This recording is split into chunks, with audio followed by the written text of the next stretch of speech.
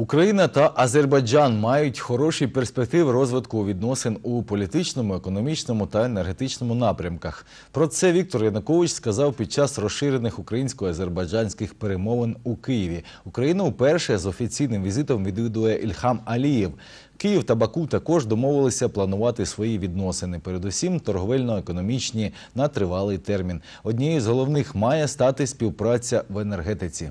Глави держав обговорили основні аспекти двосторонніх відносин та підписали низку документів. Президент Азербайджану відзначив, нині країни успішно співпрацюють практично за всіма напрямами. В подальшому розвиватиметься військово-технічна галузь та наукова, зазначив Ільхам Алієв. Президенти обговорили про майбутні кроки в цьому напрямку. Також попереду реалізація масштабних інфраструктурних проєктів та розширення партнерства в газових питаннях. Взаимодействие в сфере энергетики является одним из приоритетных вопросов, и наши страны имеют все условия для объединения усилий в вопросах транспортировки углеводородов в европейском направлении. И сотрудничество э, Каспийско-Черноморского региона, в том числе и в энергетической сфере, это именно результат нашей совместной деятельности. На протяжении многих лет Азербайджан обеспечивает надежную э, транспортировку и доставку своих энергоресурсов на рынки Черного моря, Средиземного моря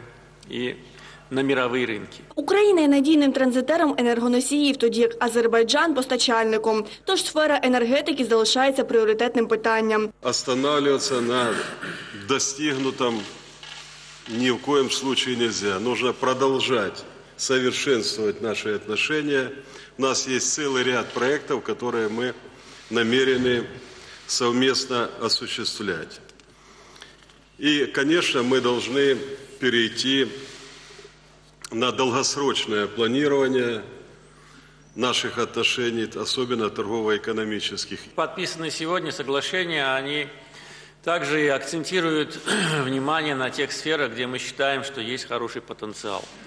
Это вопросы межрегионального сотрудничества. Считаю, что э, необходимо наращивать усилия по сближению наших регионов. Україна готова взяти участь у реалізації проєкту газопроводу ТАНАП.